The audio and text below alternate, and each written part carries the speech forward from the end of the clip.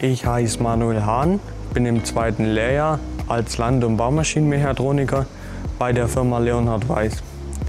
Ich habe mich für die Ausbildung entschieden, da ich sehr viel Interessantes und Neues über neue Maschinen erfahren kann.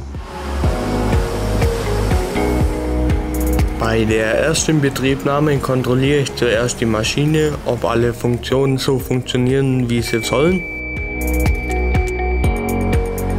Und danach gucke ich, ob der Fahrer Sonderwünsche hat, zum Beispiel irgendwelche Zusatzscheinwerfer, ob ich da welche wo anbringen soll. Oder Zusatztritte, damit man einfach und unkompliziert und vor allem sicher irgendwo auf die Maschine draufkommt. Das dient dann auch zur Sicherheit für den Fahrer oder für den Polier.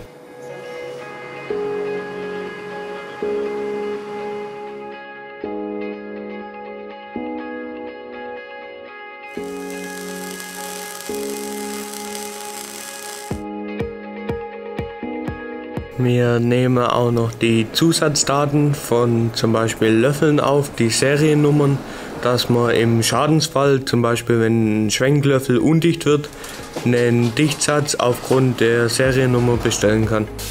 Ich trage in meinem Beruf auch eine sehr hohe Verantwortung. Zum Beispiel, wenn Maschinen stehen bleiben, kann das sehr hohe Kosten verursachen oder auch menschlichen Schaden hervorrufen.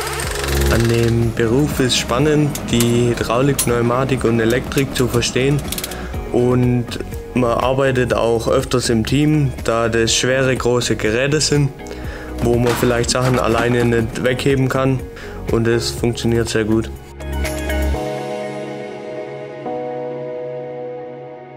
Jetzt läuft sie wieder, die Maschine ist einsatzbereit, darauf bin ich stolz.